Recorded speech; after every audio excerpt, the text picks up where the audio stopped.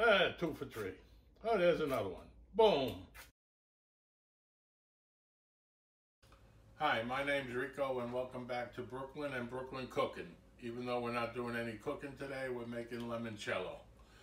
And I brought out three bottles of limoncello to maybe take a little fear out of this for you, to show they're all a little different.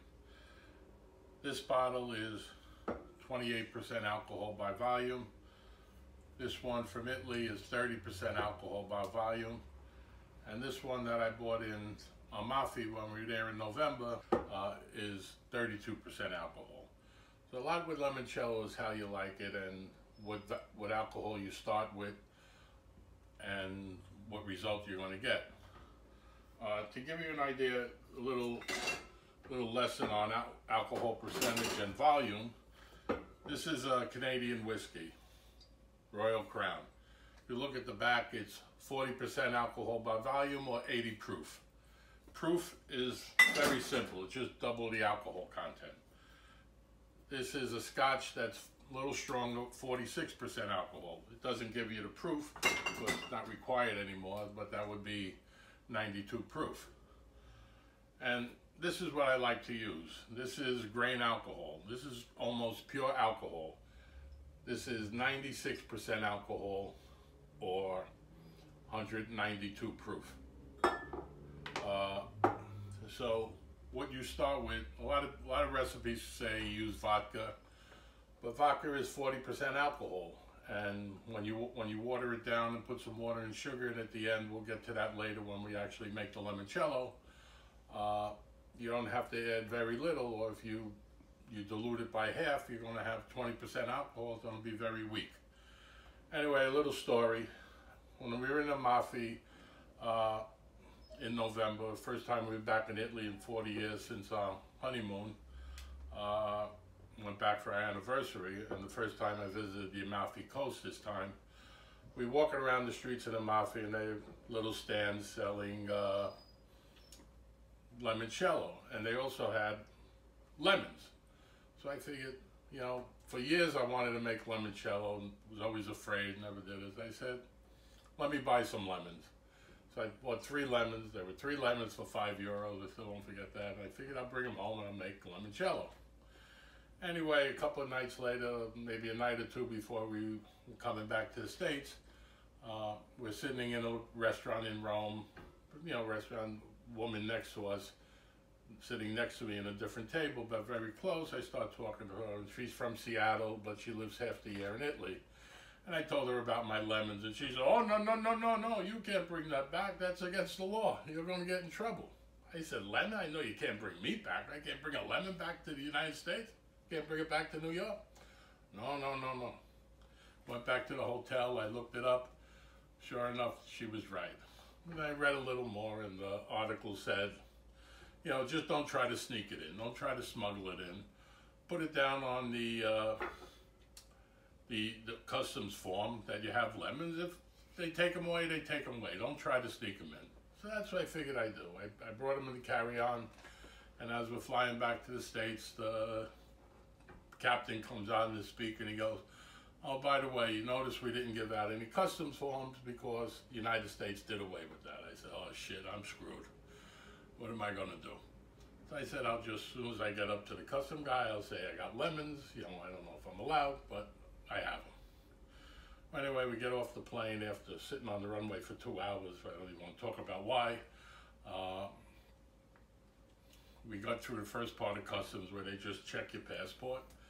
And time to get our bags. And I figured we get our bags, then we're going to go through customs and we'll check everything take a couple more steps and we're in the street and that was it. I had my lemons and i made the limoncello. If there's any custom agents listening to this i made that story up for entertainment purposes. Basically we're just going to make about a quart of limoncello which which would be about two cups of of this alcohol which is 96% now when you get lemons it's important to try to get organic lemons because all we're going to use is the peels. And if you don't buy organic lemons, they're covered with wax and you don't want that, you don't that, want that wax infusing into the alcohol. So you just, if you can, get organic lemons. If you can't get organic lemon, clean them very good. Put them in a colander, boil some water, pour the boiled water over them. You're not gonna, you're not going to ruin them. Just get them as clean and get that wax off as much as you can. So all we're gonna do is take a peeler, and all we want is the yellow part. So we see this white there. You do you want to avoid that. You want, you don't want to take the white. That's bitter. You just want to try to get the lemon, the the, the yellow part. And if you can make a basket, you could probably have try to have a little fun in it. Oh, let me miss that one. Ah, two for three. Oh, there's another one. Boom. Ah, that overshot. Dave the Busher would be proud. Whoop, lost one.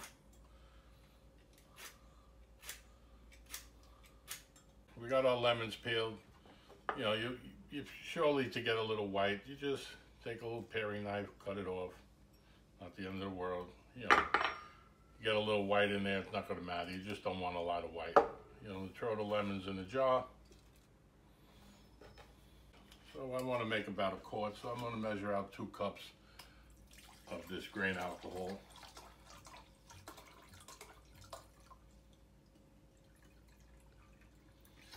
We'll pour that on the lemons. Screw on the type, this uh, a top. We don't want it to be airtight. You know, this these these uh these I use for bread making. Uh, they'll let a little air out. Uh, that's it. You just shake it up, set it, and forget it. It's to sit two to three weeks. Okay, when after we we're done, we're left with lemons. You don't want to throw them out. These are expensive organic lemons. Uh, I don't know how long they'll last like this. Put them in the refrigerator, last a while, but I know if they took the skin off of me, I wouldn't last too long. But, you know, you could squeeze them out, freeze the juice, use it right away. Life gives you lemons, you make lemonade. You know, we have to make a simple syrup for the limoncello later on anyway in a, in a couple of weeks. You know, make limoncello, make, make a simple syrup now, make lemonade. Uh, figure it out. Okay, about three weeks have passed and through the magic of TV or the internet, uh, we now have our seeped lemon. As you can see, they turn a nice, the, the alcohol turned a nice bright yellow, but we wanna, we want to strain this a little. So we'll take a strain, we wanna strain it a lot. We, we gotta get the lemon peels out of there. So you got a big, big container. Get the lemon peels out of there. And you see how brittle they became. That's when you know the lemons have given up all their, they're going to give up. They become very brittle and you can just break them in half. Okay, we'll dump that. We'll pour it back in here for a minute. We'll give it another strain. Dropped a little. Okay, now we'll go through a little coffee filter. Just want to get as much of these particles out of here as we can. Now you know why your coffee takes so long to make. And we'll see what we have, we'll measure.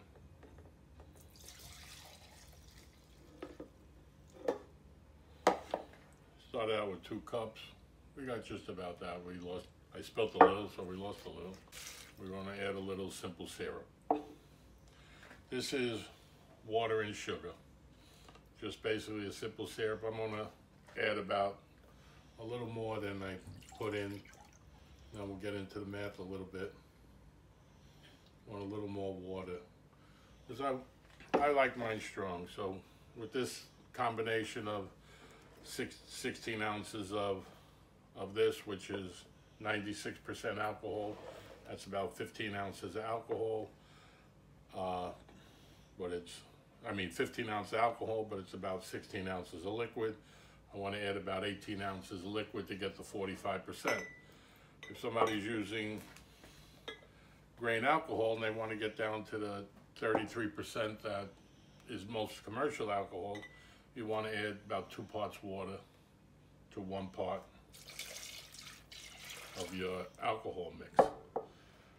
And basically that's about it. We'll mix it up a little bit. A lot of recipes will say let, let it stand a little bit, you know, a couple of days, or you could just bottle it right away. The choice is yours.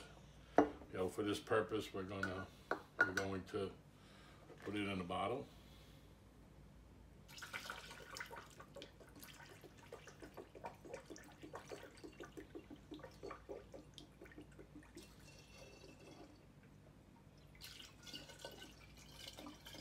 I'm not the knows neatest guy in the world. Let's see if I can overflow this.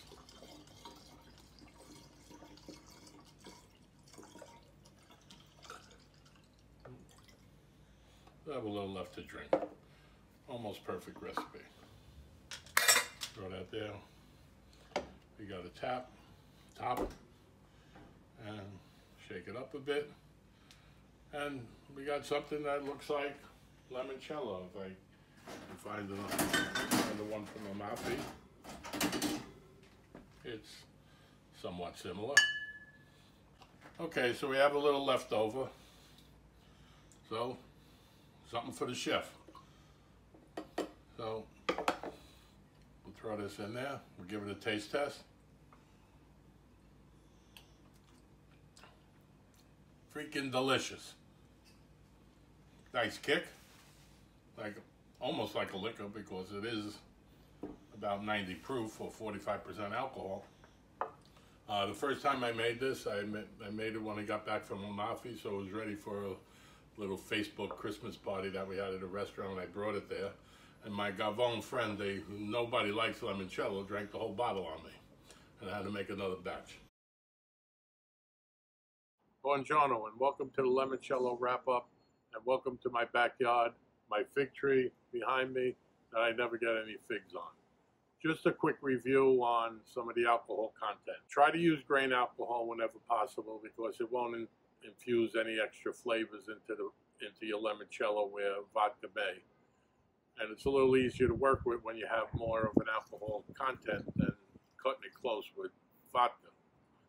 So for my 96% grain alcohol, that's going to be our goal to get to 30% alcohol by volume. If you like it stronger, adjust. So for 96% grain alcohol, I need one part of the alcohol after it's infused with the lemon to two parts of the simple syrup, which let's say for argument is 50% water, 50% sugar. Now, if I was going to do this with vodka, I'm already at 40%. So how do I get to 30%? I have to use three parts of vodka to only one part of simple syrup. So if I do that same 50% water to sugar, you know, it's probably not going to be sweet enough. So I would just probably add a little more sugar to that to get to get your sugar content up a little bit because you're really not you adding much. I'll put my measurements in the description and I'll also try to do something with using vodka. A couple of my friends have asked me, where do you get grain alcohol?